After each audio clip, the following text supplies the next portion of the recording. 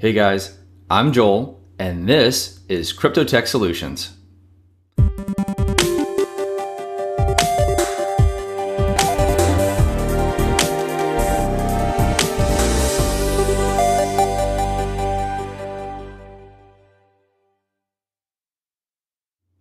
All right, welcome back for another episode of Crypto Tech Solutions. Today is Friday, March the 17th, 2017, and today I've got a very special guest, Todd Weaver from Purism.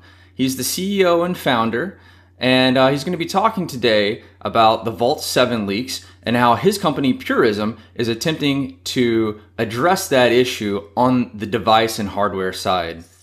Now, according to Todd's bio, he's got more than 20 years as a serial entrepreneur and a promoter of free and open source software. But before we get to today's interview, let's have a word from our sponsor. Proton Mail is one of my absolute favorite services on the internet. They don't scan your emails for advertisers like Gmail, and they can't be hacked like Yahoo. How do I know this? Because Proton Mail is end to end encrypted so that at no time are the contents of your email ever exposed. Only you hold the encryption key. So Proton Mail couldn't read your email even if they wanted to. I personally subscribe to their Proton Mail Plus service, which is at 5 euros per month or $5.30 US. It's great, easy to use, and I feel good knowing that I'm supporting a solid company that actually protects my privacy. I could never go back to using an insecure email service again. All right, welcome to the show, Todd. Thanks for joining us. Yeah, thank you. Thanks for being here. So, uh, I've already, like I said just a moment ago, I've already introduced you to our audience. But if you could, would you tell us a little bit about yourself and about your background? Sure. Yeah. Um, my background's from uh, technology, uh, both hardware and software. So I've been um, hardware architect uh, and software architect or CTO for a number of companies. Um, largest company I've worked for was Amazon. I was a contractor there for a short bit. I think I've heard of them. Yeah, exactly. And then I, I uh, left that place and then was a CTO of a digital media company where we actually produced hardware and software. So I wrote all the um, entire distribution, which was a Debian based distribution. And then I ended up um, becoming a uh, uh, hardware and software architect for a company called PlayNetwork. And that's if you go into any uh, Starbucks or any retail store and you hear the music overhead, that's hardware I uh, designed, manufactured, and all of the software that I wrote uh, runs on those devices. And they, they probably manufactured about 100,000 a year of those units. Um, then I actually started up an online cable company, uh, the first online cable company in about 2007 uh, where we were streaming broadcast television to over the internet um, for four dollars and ninety a month. We were paying royalties to the broadcasters, but that of course didn't stop them from wanting to sue us to oblivion. So that's exactly what happened. Uh, so we, we ran we operated about 18 months, um, and then uh, and then our case ended up going to the Second Circuit Court of Appeals. We lost on appeal petitioned the Supreme Court and they didn't hear our case, so we basically settled um, to say that okay, fine, uh, we lose. I'm very. We were, we were technically right on the law, so it was kind of a. Uh, it was just that you know they were too big and we were too small. So at that point, then I uh, really kind of wanted to focus back on hardware, software, looking at you know what options we have, um, and uh, and then really a thing that's been bothering me for decades has been basically hardware uh, bundled with software that really supports free software movement or really what those beliefs are as it relates to security, privacy, and freedom. And so then I ran a crowdfunding campaign to say, are other people interested if we end up manufacturing hardware and put up software behind it? Uh, and um, and there was an overwhelming response for us to to do just that. Really make it a convenient elegant, high class, you know, high end uh, bundle. And so that's really what started Purism. Uh, you know, my my uh, you know personal life, I guess I've been a you know computer geek for you know going on about 25 years, uh, and really been a free software supporter since uh, you know the about 1990 1992 uh, was when I first started to get into you know comparing basically Solaris versus uh, running a GNU Linux stack, and clearly decided on GNU Linux mostly because of the cost reasons at the time. Uh, but then, you know, from there it kind of expanded, and my, you know, love for the space is, uh, has, you know, grown stronger. Excellent, thank you. Um, it's funny before the show we were talking and how small world and uh, how people paths cross. I was actually a customer of the uh, the antenna broadcast over the internet um, service that you were talking about, and I was really sad when it went away. So that's crazy. Yeah, right. It's, yeah, yeah, that's uh, right. There's a, a, fair number of people, and I, and one of the things that really is crazy about um, about that whole thing is that we actually did a really deep dive on the on the legal side of things, and really the the short way to describe it is that broadcast television initially started as over the air broadcast and then when cable started, they said, hey, this is just, it's free, it's over the air. So we should just be able to redistribute it to people like in a valley mm. who don't have the ability to receive broadcast signal. And so in that case, actually, was uh, those cable companies were sued by broadcasters. And then the cable companies um, uh, ended up going, went all the way to the Supreme Court. And the Supreme Court said, yeah, this is actually just over the air, so they shouldn't have to pay. Then the copyright law changed to say, well, that's we need to compensate the content owners, right, the copyright uh, holders. And so what they ended up doing was um, establishing, changing the copyright law that says you can re you can retransmit as long as you charge a fee and you pay the broadcasters a royalty. And that's exactly the law that we were doing that's the same thing as cable companies do today. And we paid the same rate that cable companies do today, uh, but it um, it just was seen as you know, it was just too new. It was a, too new of a technology at the time. Uh, but it was, um, and then at that time, I actually said it was 2007. They said it would be over 10 years before you start seeing broadcast television carried live over the internet. We're still not quite there, but um, anyway, it's it's a it was it was fun while it lasted. All right, yeah, I didn't mean to get you sidetracked, but it was a great product, and I was sorry to see it go. All right, but we're here to talk about Purism. Um, obviously, I'm blogging about digital privacy and security, and that's where our interests overlap. Overlap, and so you talked about the start of Purism, but um, before we kind of get into your products, would you talk a little bit more about what Purism's ethics are in this space and how you see Purism as a, a solution to digital privacy and security versus the model that is kind of ubiquitous, ubiquitous today? Yeah, so there's a, a lot to talk about, and that's in that because it it really is the way I describe it is how deep you go. And so, you know, literally with every single threat that we hear on a daily basis, um, what what you end up having to realize is the threats are so far and wide that it, it becomes a game of depth for security. So th- this is an example where, um, or even we post on our blog, you know, the ways in which you can determine your depth of security, um, especially as it relates to the most recent Vault 7 um, leaks, where um, if somebody were to come and ask me, right, you know, hey, how, how do I crack, uh, you know, encrypted communication technologies? Uh, it would be a simple answer of, you know, like let's say WhatsApp or, you know, or uh, um, Signal or you know the list of uh, encrypted communication technologies is that if you just go a layer lower, then you own. If you own the operating system, you own everything that goes above it. Um, and so, and that what was fascinating in the Vault 7 is that there was proof positive that the CIA and other nation states and even bad hackers, and then also those who have access to that code, take that exact philosophy, which is, you know, their approach is the encryption's good. So let's just go a layer lower and we can own the, the you know iOS or Android devices in that case, uh, which means then they own the apps. So one of the things and really behind the philosophy, which is one of your questions about purism, was that we uh, understand that depth of security is is critical, and the only business model and long term philosophy is to uh, have the entire stack available for audit and in users control.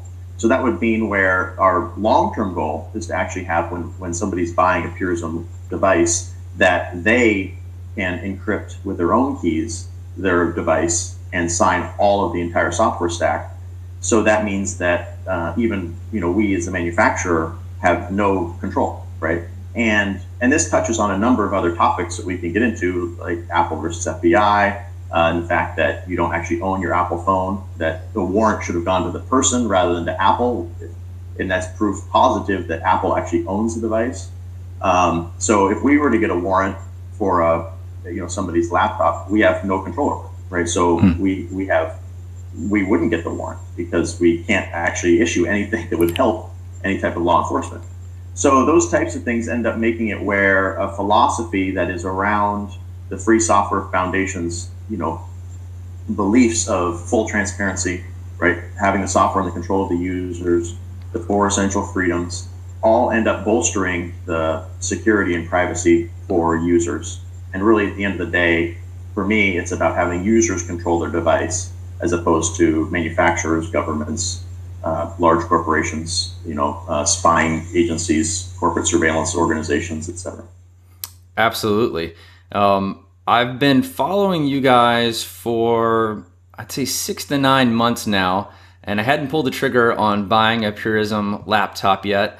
And then it was actually your blog post on Vault 7 that kind of brought you guys back to my attention again and made me want to reach out to you for an interview. So, uh, excellent post. Thank you for writing that. I shared it with all my uh, Twitter followers, and I'll definitely be posting that on today's show notes page again. Um, so, with that, what products do you, does Purism have on the market, and what specific design elements have you put in to address some of these concerns? Uh, so it's a great question. And so we have a 13 inch laptop that we actually have just placed an order to be able to ship from inventory. So in the past, when we first started, we were actually doing build to order. So that mm. would hmm. be where somebody could wait three months, even sometimes even a year, uh, depending on the configuration. And so, uh, but now we've sort of, we've grown to the point where we actually have been able to place an order to be able to ship from inventory for our 13 inch products. That's the Librem 13. And then we also have a 15 inch uh, laptop, a Librem 15, um, that we're placing an order to ship in the next revision to be able to ship from inventory. And that means then the lead time starting around May is going to be uh, less than a week, which is mm. going to be fantastic for us to grow and be able to actually even target larger businesses that are concerned about security.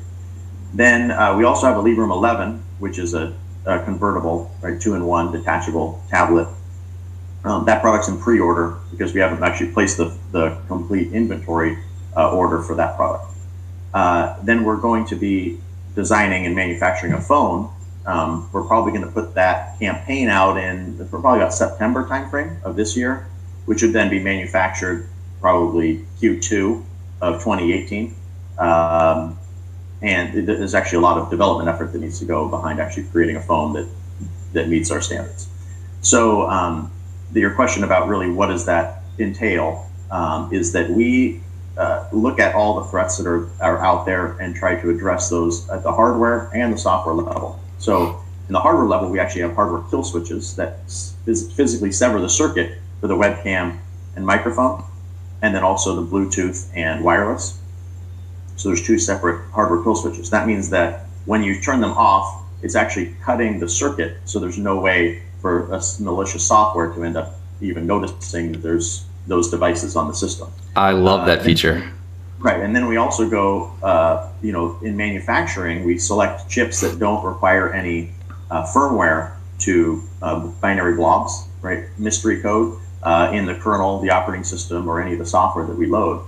So by doing that, what we uh, what we can ensure is that it's the source code can be verified, it can operate in the user's best interest, and then the user can actually have control of that of the, of the overall system. And one of the things we also recently uh, uh, released is we ran we got Coreboot to run on our um, on our laptops, and then we also um, have leveraged what's called ME Cleaner, which mm. means we've neutralized with Intel Management Engine, uh, which is a basically a separate processor and separate um, binary that's uh, digitally signed by Intel. And so by removing the network stack and the kernel from the Intel management engine, we've pretty much neutralized that. There's still a few more things we want to do to free that, and then we'll have a completely uh, freed system all the way down. Is like I said, the depth for us is, you know, web apps we're completely freed, applications, operating system, kernel, bootloader are all completely free. The BIOS is running Coreboot, which is you know a free BIOS, but it does include some binaries. So we go about six levels deep, uh, six levels deeper than any other hardware manufacturer. I mean, you're not going to find Apple or Google or Dell or Acer um, producing anything even close to that. Yeah, you're also not going to find any of those companies posting on their website where they source all of their hardware from and what input they've had into that. Uh, I thought that was a really nice touch on your guys' website. Um, yes, and I've never seen I've never seen a hardware manufacturer's website that had the word uh, privacy, security, and freedom so often. So. That's right. Well, obviously, that's that's sort of a you know we sort of march to that drumbeat uh, and we try to repeat it as much as we can.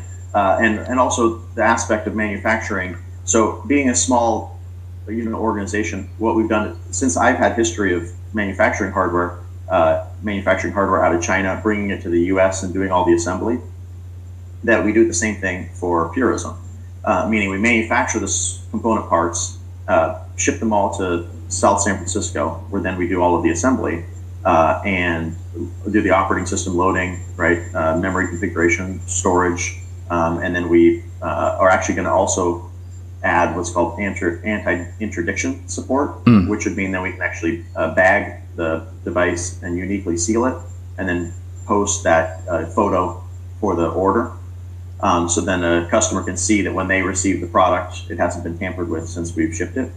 Um, but one of the things that I do feel like it helps in po- in posting, uh, you know, what things we have, what things we source, what things we manufacture, and what things we can modify from the uh, you know from an original design, and then that allows uh, you know just some transparency as to as you know how we can actually do this.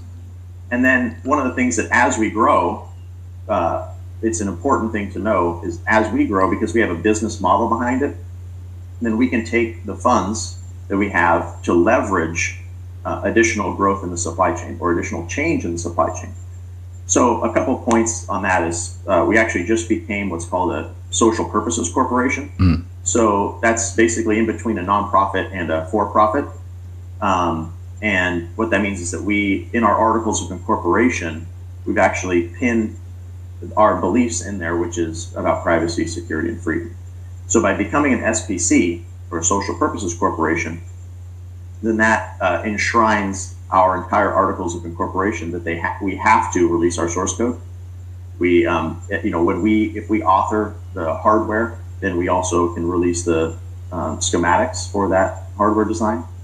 So those are a number of great things that end up meaning that as we grow and can push in the supply chain, then we can uh, have money and leverage with the supply chain, which the free software movement has never had. And that's that's going to be really helpful for the entire future of secure computing. Yeah, I think you guys are are definitely doing it right. Um, I think it's amazing that the corporate world hasn't gone after uh, the free and open source kind of software movement in a stronger fashion. I think that your guys tar- you targeting um, businesses is is really smart because why would you want to keep paying that license fee to Microsoft um, when you can have a product that you know is more secure? It's being um, backed up by a company like Purism, and um, and has have has people all over the world developing on it. So anyway, I think you guys are totally on the right track here. Um, but you're not just a hardware company, right? Um, you what operating system do your laptops run? Right. So we actually uh, fork from Debian, and we run our own PureOS.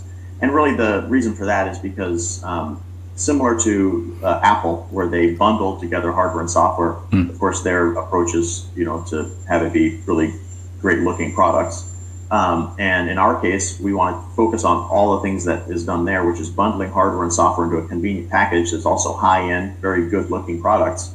But by focusing on privacy and security and freedom for users, then we have a reason why people want to buy from us, meaning that they can vote with their dollars, right? So they can actually come and say, you know what, I want to support a company who, when I when I buy the product, I'm supporting a belief system that I have long term and then that means that then we can run and improve PureOS, which is the operating system that we bundle together with our hardware. And so PureOS, we actually are submitting that to Free Software Foundation for endorsement. Because we don't have any binaries. There's no mystery code in any of the, entire distribution, and we recommend free software tools over uh, any proprietary tools. Um, so when you actually open up your laptop and you turn it on for the first time, you are installing and actually encrypting your drive with the passphrase that you have. So we actually format the drive and put the little ISO image on the end.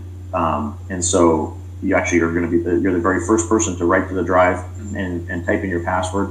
And all of the software you have in there is going to be completely free software that respects all of your freedoms as well as the, um, uh, you know, it's the most secure because of course the code can be audited. And then we're end up improving things. So as an example, just um, we just added a, a GR security based kernel. Mm. So um, going forward, right, we're going to be able to by default have a GR security patched kernel for our hardware, and then we can start really pinning down the um, most secure options by default for customers uh, because they can um, uh, because we ship it by default that way. Fantastic. Um, so you talked about a roadmap with event, developing a phone, which is not too far off in the in the future. What OS will that run? That'll run PureOS as well, um, because we're going to run. Um, well, most likely we're going to run GNOME Touch, mm-hmm. Um, but we've sort of looked at a few other options. But that's most likely what, what it'll be. Uh, and we've toyed around with right. Uh, we've run surveys. We've toyed around with what the you know we've done a lot of research on the hardware side of things um, as it stands right now, because of our advancements with um, with Coreboot, with uh, the able the ability to remove some of these binaries from this core that we don't even use, the ARC core, uh, that we're probably actually going to utilize uh, an Intel-based phone. We've also looked at IMX6, which is basically a great from freedom standpoint, but it's just so underpowered mm. that um, that the it would we'd relegate ourselves to a very small section of, of who would want to use that product. So those are some things we're toying with. We've done, you know, and and so the stage we're at now, we've done all the research, and now we're going to take that shopping list to uh, to different manufacturers in uh, Dongguan, China, and see, you know, what their capabilities are, um, and then then we'll be able to once we kind of pin all that down, we'll be able to get a prototype, and then we'll run a campaign, a pre-order campaign to basically say, you know how many people are interested in, and we'll also be able to know our exact manufacturing costs, you know, minimum order quantity, mm-hmm. and that's what we'll put as our minimum for the pre-order, and then uh, and then be able to uh, you know run that campaign. If it's successful, then we'll be able to manufacture the hardware. But the operating system will be PureOS, um, so it'll run a complete GNU Linux stack, or anybody who wants to run a GNU Linux on the computer or the phone, they would be able to as well. Oh, fantastic! And one of the one of the important discussion points with the phone, of course, is that anybody will bring up the baseband issue, mm.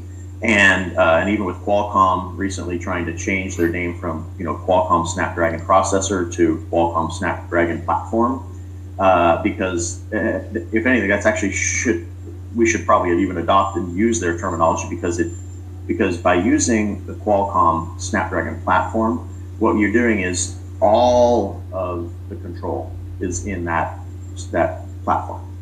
Uh, so we are not using a Snapdragon um, CPU, and we would actually separate the baseband uh, as a separate USB device. Mm. So that way, you can completely disable it if you want to have a Wi-Fi only device, and it will not actually have control of the entire phone.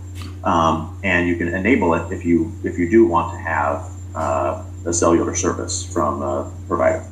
And hardware excuse me, and the phone will also have hardware kill switches for uh, the mic, the camera, the radios.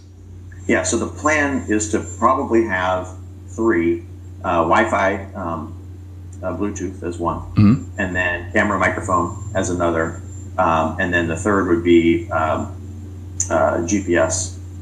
Uh, even though that's you know GPS is not an outbound, it's an inbound, but the by turning it off, meaning and then any apps that have access to the GPS chip would not have access to it. Um, and so, and then we might ha- we might couple that one with um, uh, because we don't want to have just you know a litany of kill switches. If we can bundle them together to logical, you know, um, uh, uh, switches, then that's probably what we'll end up with. So I think we're going to end up with three. Um, we're still kind of deciding on a few pieces there. Um, which is basically going to be, you know, how do we end up uh, modifying an, an, existing case mm-hmm. to be able to do that? Yeah, of course, real estate and form factor are huge. Right, exactly. And so, um, but we're, we're, it'll probably be a, a five inch um, screen.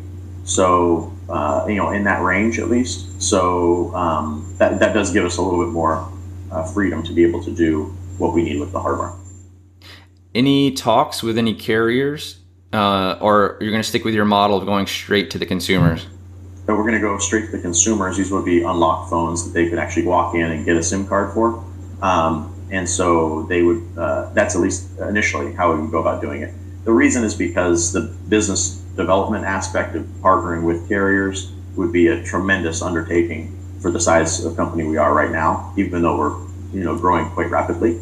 Uh, it's just that by being able to provide something for the user, then the user can decide, oh, you know, I can buy the phone, I can walk into any carrier and get a SIM card, or um, uh, or they could opt to have it be a Wi-Fi only phone because uh, we're going to be also bundling together, uh, you know, over the top or VoIP um, communication services, right? So encrypted communication services, so you can actually use your device on Wi-Fi only uh, without really any issue, except when you're, you know, not around a Wi-Fi connection.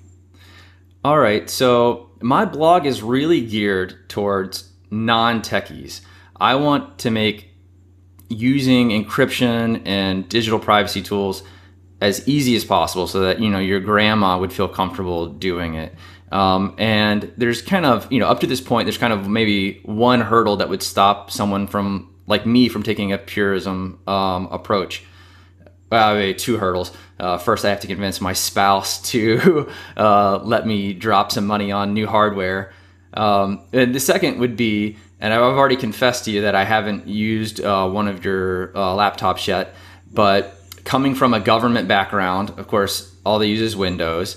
And then uh, I've had a MacBook for a while, um, and I've never been someone who uses Linux before. So if I am a straight vanilla, let's just say Windows user, what's the learning curve to switch over to using a Purism laptop?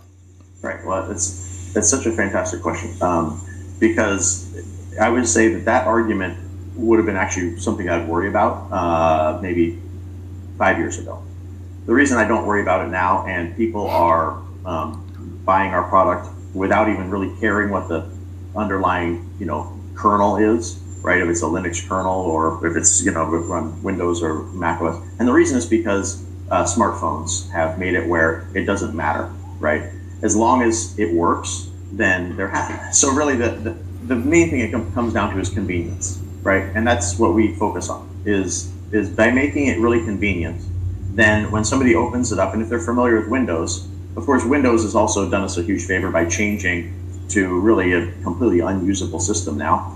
Uh, and so um, by them changing from what people were familiar with uh, to you know this tiling approach and this, right, it makes it where and then the uh, people using phones where they will switch from iOS to um, you know to Android and they can change back and forth because basically the apps just work. Mm-hmm. And so by having uh, a system when you open it up and you can, you know, have an email program and you have your web browser and you have, you know, when someone sends you a Word document, you can immediately open it in Libre Writer and edit it, save it, and send it back, and it all becomes uh, transparent. Um, and uh, and you can easily communicate back and forth. So uh, what we've done is we've we've we understand that convenience is the end game. And by making a product that's really convenient for users to use, uh, then we know we can ha- we can easily win them over. So that's where somebody doesn't have to worry that oh, let's say you know back in the day that you even you would remember that when somebody at their office had you know Windows 95 and they need had a certain version of Word, and in the you know free software world it would be you know well we're running StarOffice and you know, okay, so it's fine. We can sort of communicate, but that was a big deal. Uh, that is not a big deal any longer. And that's one of the things that I've actually also pushed, uh, and one of the big reasons we started Purism is because I also believe that the days of buying any type of hardware and installing your own software is not as convenient as getting a bundle. Uh, and so that's one of the things that by starting Purism is that we create that really convenient bundle. So you can just buy our hardware and you can literally open it up and just use it, and it all just works because it was the software is designed to run with the hardware, and the hardware is really you know uh, will last a long time. And so, so that is where we can actually compete with these proprietary large you know organizations that strip privacy and you know spy on users uh, for their you know uh, profit. So um, by competing head to head on the same business model principles, then we can actually leverage the dollars spent on our products to further advance the overall uh, convenience goal that we have, which is the same goal that you mentioned that you have on your blog and website. That's awesome. I'm sold. Uh, my next machine will definitely be a Purism laptop. And I'm really looking forward to the phone too. Uh, let me put you on the spot for a second. What phone do you use now and what operating system are you running? I, I, I do own a HTC. Okay. I run an Android. Um, and uh, however, I don't carry that around with me. I mm-hmm. have that really because my conversations with you uh, can actually be over, uh, you know, a nice free software tool. Mm-hmm. Um, but that doesn't mean that's the case for everything else. Um, uh, I have run uh, Cian Moygon, however you pronounce that, uh, the Android port, mm-hmm. um, but I don't currently. I actually run um, the Android stock Android, and that also allows me to kind of test um, to see, you know, constantly, like, you know, just in a recent software update where you're literally, you know, it's like they're just owning your entire device. Yeah. Um, so uh, I usually use um, my laptop and VoIP tools, um, so I don't even carry my phone anywhere I go. Um, and but I do still have one. And once we actually put out our phone, then I can finally ditch the uh, the old uh, HTC Android. Good answer. Uh, about four months ago, I switched to um, Copperhead OS on a Nexus 5X. Um, yes. And I tried to stick completely open source, and then I eventually caved and I put a few proprietary apps on it. Like I love my Proton Mail, so. But um, sure. it's, a, it's a good platform. I really like it. Um, anyway, that, that was an aside. No, it's great. I mean, you know, so some of the benefits of what Copperhead OS has done, uh, and as well as even, um, uh, you know, with uh, uh, Subgraph OS, so and Qubes OS. So these are things that, as PureOS, we're actually focusing on. You know, hey, what are some of the things that these organizations have done that are really great things that we can end up bundling together. Um, and so, uh, looking at Copperhead OS, looking at Subgraph OS, looking at Qubes OS, and and looking at the what things are good from them, but also still making it really convenient for a user and being able to bundle that in uh, together as uh, as a you know mobile distribution. One of the think really the toughest piece as it relates to the phone is actually not using anything that's Android derivative, right? Um, and uh, that's been taking us the longest amount of research. So on the hardware side, we have a couple choices, um, uh, and we've sort of pin that down much clearer now. On the software side, is we're still trying to really you know dig into what are all the tools that we're going to use uh, to have it be actually a true GNU Linux based device. All right, fantastic. Well, I want to make sure that I respect your time. Uh, but before we go, where can folks find you personally, and where should they follow uh, Purism at? So we, our website uh, is puri.sm, and uh, from there, of course, you can you know be able to reach out to me directly or to follow us on uh, any of the social media sites that we link to from there. All right, fantastic. I also wanted to say, um, I mean, obviously, I love the fact that you guys take Bitcoin. so I try to shove Bitcoin into every conversation. It's probably good that I didn't. Um, but uh, anyway, that's how I'll be purchasing mine so that there's no uh, digital trail. I'm not really tinfoil hat, but you know, someday in the future, having a device that doesn't track you that might be yeah. seen as subversive. So, well, the thing that's funny about that, uh, I mean, and so I, I'll touch on it since you brought it up. So, yes, of course, we take Bitcoin. We also uh, take a number of other forms of currency because the cryptocurrencies because we are trying to you know expand to what people would want to use. But um, and you know, I'm also not one who uh, who is on the fringe of thinking that you know everything is being monitored constantly. Mm-hmm. That's a, you know a negative for me. Um, obviously, you can be scooped up in a dragnet, which we have been, right? Yeah. Um, and uh, and I also believe that you know that even uh, governments, there's the left hand of the government and the right hand of the government, and so um, so I come about this as uh, as really that we should be able to own our devices and protect ourselves. Uh, as opposed to just leaving it open. And I, I, like to use an analogy to, you know, to homes, which is that when you know, because I'll hear from a lot of people who are like, "I have nothing to hide," and of course, I flip that on the head and say, "Of course, no one has anything to hide. We all have just things we want to protect." And the and it's a misnomer to use the word hide as opposed to protect.